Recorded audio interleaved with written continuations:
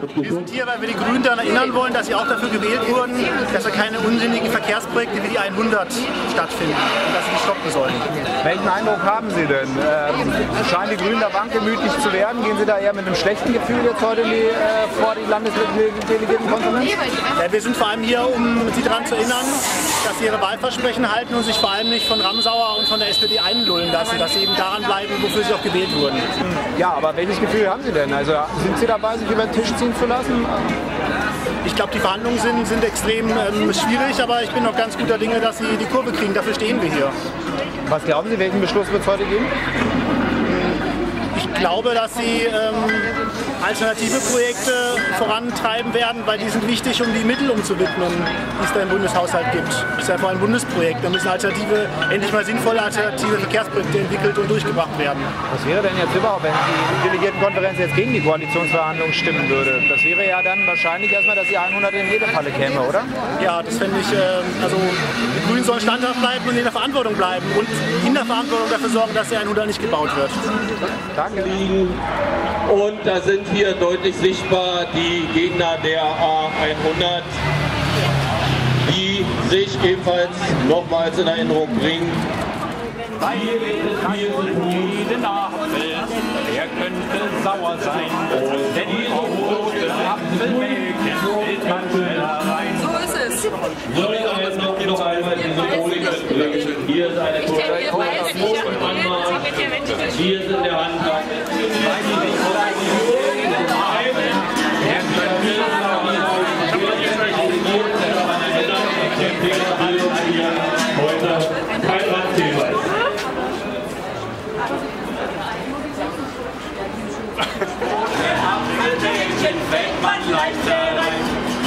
Beißt nicht leicht in jeden Apfel, der könnte sauer sein.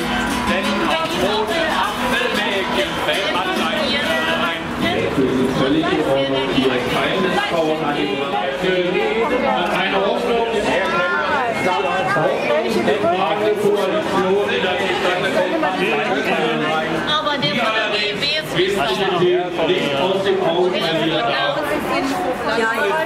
Wir wollen das Thema Bildung nicht nur Wahlkampf, wir wollen und dazu gehört auch Geld anzupassen. Wir stehen auch vor der Schwelle, Koalitionsverhandlungen aufzunehmen und nicht schon einen fertigen Koalitionsvertrag zu bewerten.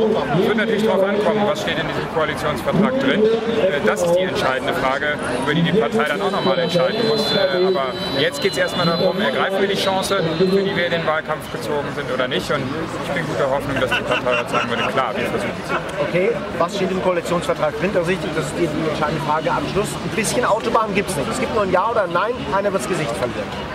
Nein, ich glaube, wir, wir haben jetzt äh, die Möglichkeit zu sagen, wir versuchen was anderes. Wir versuchen was anderes und wir haben eine realistische Chance und das steht ja in dem Kompromiss drin. Wenn dieses andere umgesetzt werden kann, dann wird keine Autobahn gebaut. Wir treten dafür an, dass das andere umgesetzt wird, nämlich Erhaltungsmaßnahmen vor Neubau. Das ist auch das, was die äh, Bundesregierung ausgerufen hat als neue Leitlinie.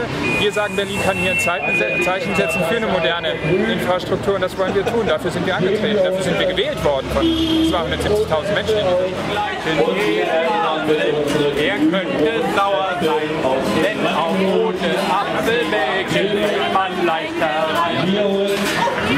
Beißt nicht gleich in jeden Apfel, er könnte sauer sein, denn auf rote Apfelmädchen fällt man leichter rein. Weiß nicht gleich, Die von der GEW Wir wollen mittelgroße Arbeitsverhältnisse. Wir wollen beschäftigt. Und das sind die Themen, die heute eine große Rolle spielen sollten. Bildung ins Zentrum, weiß gute Energiepolitik. Entlastung für die Beschäftigten, rote Apfelmädchen fällt man leichter. Beißt nicht gleich in jeden Apfel, er könnte sauer sein.